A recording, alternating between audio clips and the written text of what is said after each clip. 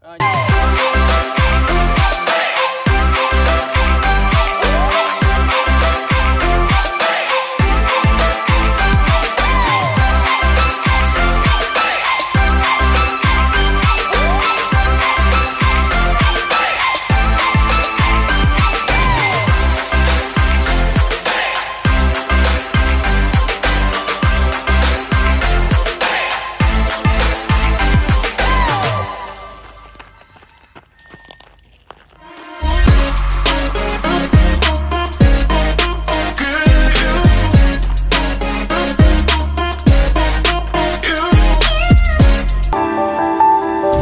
Như vậy là chúng ta đã hoàn thành xong hai nội dung chính.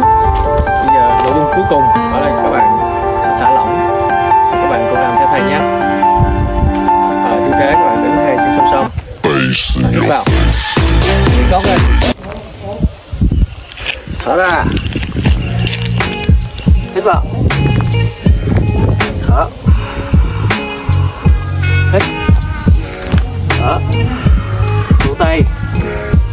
Các bạn nhớ rũ tay cho thật kỹ.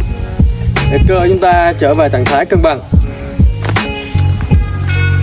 Chúng ta làm lại một lần nữa nhé. Hít thở mạnh ra. Hít